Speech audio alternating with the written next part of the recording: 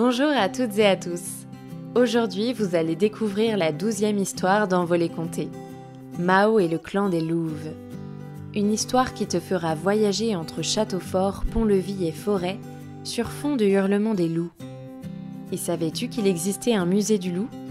Ce musée est unique en France et il se trouve en Bretagne, dans le Finistère. Il contribue à une meilleure connaissance du loup et de son histoire. Dix salles sont exclusivement consacrées à cet animal pour qu'il n'ait plus aucun secret pour toi. Ainsi, tu deviendras incollable sur l'anatomie des loups, sur leur comportement, mais aussi sur les contes et les légendes qu'on raconte, ou encore sur la préservation de cette espèce. Grands méchants loups ou animaux comme les autres, tu pourras en juger par toi-même en visitant le musée. En attendant, enfile ton armure pour retrouver Mao dans l'enceinte du château. Bonne écoute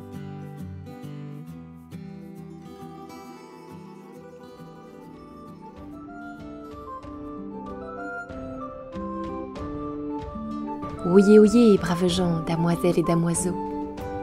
Par-delà les murailles de la ville s'étend une forêt. Et comme toutes les forêts, elle est peuplée d'ombres, de secrets et de créatures mystérieuses. Mais n'ayez crainte, car à cœur vaillant, rien d'impossible.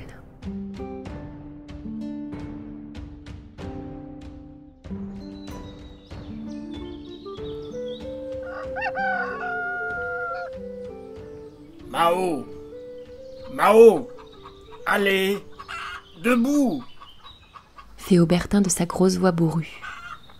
Mao secoue ses boucles brunes et tire sur son drap de laine. Le jour est à peine levé. Elle entend le bruit des charrettes qui vont et viennent dans la cour du château. Dans l'écurie juste à côté, Artémis s'ébroue. Mao reconnaîtrait entre mille le bruit de ses sabots sur la terre. Un peu plus loin, elle entend Camélia qui piaffe. Depuis qu'elle a perdu ses parents il y a des années, Mao passe toutes ses journées et toutes ses nuits dans les écuries. C'est Aubertin, le vieux palefrenier du château, qui l'a recueilli. Et le palefrenier et ses chevaux sont devenus sa seule famille. Hé, Mao J'ai entendu une drôle de rumeur ce matin dans les cuisines. Murmure Aubertin en se penchant au-dessus d'elle et en lui glissant une miche de pain dans la main. Mao se relève intrigué et regarde le palefrenier. Ben vas-y, raconte Tu sais, aujourd'hui, c'est la fête des palefroids au village. Bien sûr que je le sais.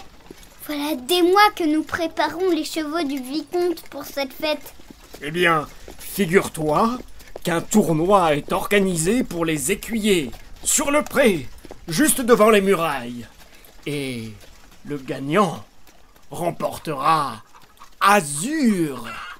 Azur Le, le poulain Le petit de Camélia et d'Artémis? Aubertin hoche la tête. Eh oui Il est en âge d'être dressé, et il fera un merveilleux destrier, c'est- c'est certain. Mao sent comme un petit glaçon qui tombe dans sa gorge. Elle était là quand Azur est né. Elle a vu ses yeux clairs comme un matin d'été s'ouvrir pour la première fois. Oui, c'est sûr. Il est déjà si agile et rapide. Pendant un instant, elle s'imagine à côté du poulain. Le faire marcher au pas, trotter, galoper, sauter d'un tronc d'arbre. Elle l'imagine grandir, ses muscles saillants sous sa robe noire. Pour sûr, il deviendrait un magnifique cheval. Son cheval. Mais elle secoue la tête. C'est impossible. Et pourtant, Mao a tout d'une écuyère. Elle sait monter à cheval à la perfection, tirer à l'arc et à l'arbalète, lancer le javelot, et Aubertin lui a même appris à se battre à l'épée. Mais pour participer au tournoi des écuyers, il faut être un garçon. Elle fourre la miche de pain dans sa poche et attrape un seau.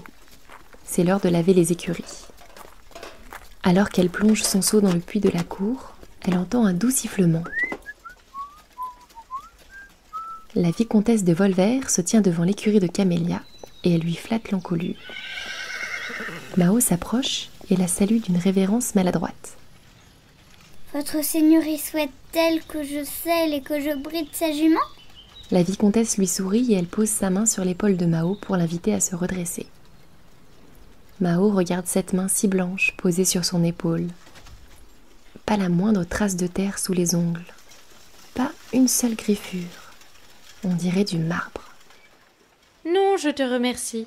Tu dois déjà avoir fort à faire avec la fête et le tournoi des écuyers. Oui, cela va être une très belle fête. quelle chance pour les écuyers de pouvoir participer à ce tournoi. J'aimerais tellement pouvoir y prendre part moi aussi. s'exclame Mao. Mais aussitôt elle se mord la lèvre. Que va penser la vicomtesse aux mains si blanches d'une petite fille qui rêve d'être écuyère? La vicomtesse la regarde et Mao croit deviner une petite étincelle dans ses yeux. Elle se penche vers Mao et murmure Moi aussi, j'aimerais être quelqu'un d'autre et galoper librement au milieu des champs, sans ces stupides robes bien trop longues et ces rubans qui s'en mêlent. Mao sent une douce chaleur qui l'enveloppe, comme si les mots de la vicomtesse étaient magiques. Celle-ci se relève et ajoute avec un clin d'œil. Il suffit de peu de choses parfois pour devenir une autre personne. Puis elle s'éloigne de son pas léger. Mao sent tout à coup ses joues qui la brûlent. Elle lâche son seau et se précipite dans l'écurie. Elle sait ce qu'elle doit faire. Elle attache ses cheveux très serrés avec un morceau de corde et enfile un casque aux armoiries tellement usées qu'elles sont devenues illisibles. Il est un peu grand pour elle, mais peu importe. Elle chausse des bottes et une armure en cuir pour se protéger. Puis elle sort de l'écurie et renverse le seau d'eau. Dans la flaque qui se forme à ses pieds, elle voit le reflet d'un jeune écuyer un peu frêle. Ses cheveux disparaissent complètement sous son casque et sa cuirasse lui donne l'allure d'un garçon. Elle prend sa voix la plus grave. Vous allez voir ce que vous allez voir, bande de coquets. Puis, elle se dirige vers la muraille d'un pas décidé. Le pont-levis est abaissé, la lourde porte est ouverte.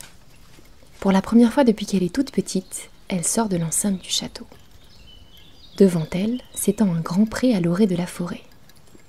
Mao a entendu tellement d'histoires sur cette forêt depuis qu'elle est petite. Des histoires de sorcières cruelles et de loups assoiffés de sang. Mais elle n'y a jamais vraiment cru. Pourtant, elle sait que les personnes qui vivent au village s'y rendent parfois pour les combattre. Elle détourne les yeux de la forêt et se tourne vers le pré où va se dérouler le tournoi. Il y a une piste, des poteaux et des cibles. Des chevaux sont attachés à une barrière et des écuyers s'entraînent à lancer leurs javelots avant le tournoi. Ils s'arrêtent pour la saluer. Mao bombe le torse et les salue à son tour d'un geste de la main. Elle passe devant une estrade sur laquelle trônent deux fauteuils majestueux. Des gens viennent de partout pour assister au tournoi. Le pré se remplit peu à peu et Mao sent sa gorge se serrer. Que se passera-t-il si quelqu'un la reconnaît? Et si elle s'était surestimée et que les épreuves étaient trop difficiles ou que les écuyers étaient plus adroits et plus forts qu'elle. Mais elle respire un grand coup et ferme les yeux. Elle sait qu'elle peut y arriver. Sa main ne tremble plus. Soudain, des clairons se mettent à jouer et les écuyers se rangent tous sur le pré en face de l'estrade. Mao les rejoint à la hâte. Oyez, oyez, gentes dames et damoiseaux Voici venir nos magnanimes seigneurs, le vicomte de Volver et la vicomtesse s'exclame un page en entrant dans le pré. Derrière lui, une file de chevaliers escorte le vicomte et la vicomtesse. Le couple prend place dans les fauteuils. Les écuyers s'avancent pour les saluer en posant un genou à terre. Mao sent sur elle le regard de la vicomtesse et il lui donne de la force. Les clairons sonnent une deuxième fois et le tournoi commence. Chaque écuyer se voit attribuer un cheval, un arc et un javelot. Mao plonge ses yeux dans ceux de l'animal qu'on lui a donné. C'est une vieille jument à la robe grise et aux yeux noirs. Elle sent qu'elle est un peu craintive. Son sabot gratte nerveusement la terre. Ça va aller. On va faire de notre mieux. Lui murmure Mao en posant sa main sur son encolure. Aussitôt, la jument s'apaise.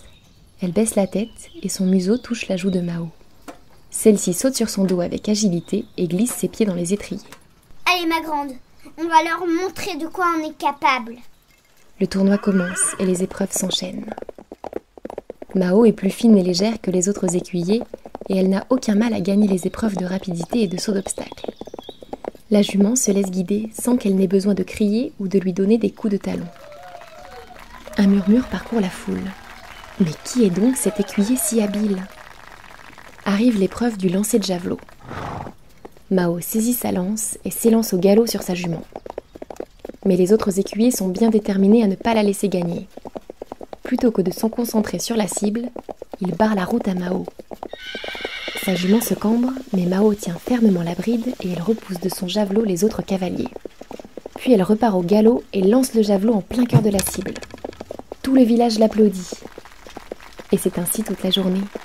Mao enchaîne les épreuves avec brio et impressionne le public par son adresse. Tous se mettent à l'encourager et à l'acclamer à chaque nouvelle victoire.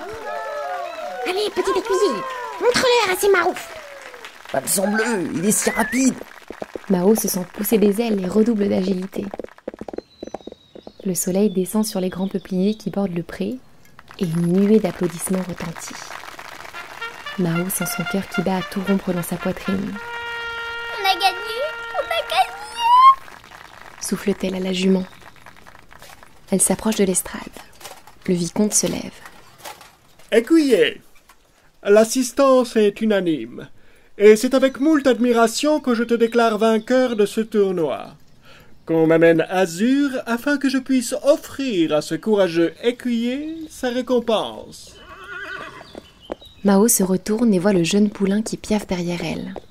Une immense vague de joie lui remplit le cœur. Elle s'incline devant le vicomte et sent son casque glisser devant ses yeux. Vite, elle essaye de le retenir, mais c'est trop tard. Il tombe à ses pieds, entraînant ses cheveux qui ruissellent sur ses épaules.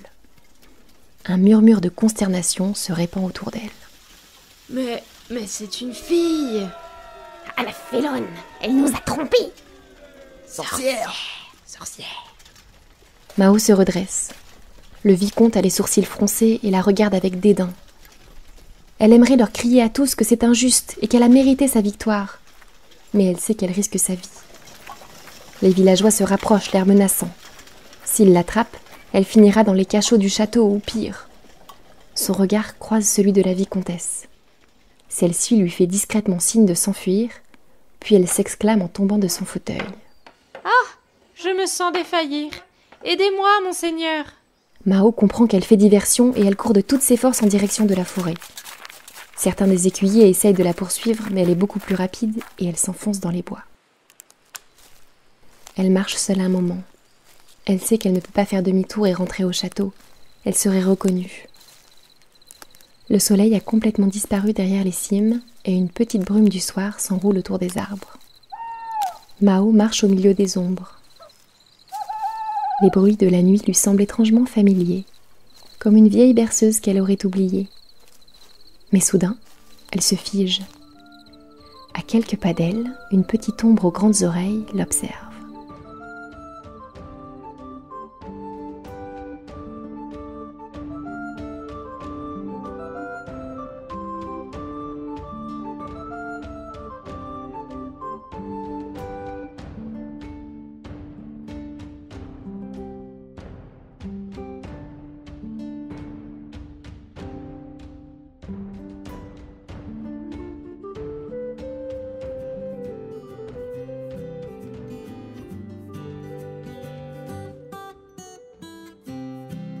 Vous venez d'écouter une histoire d'Envolée Comté, une création originale écrite par Lucille Petit.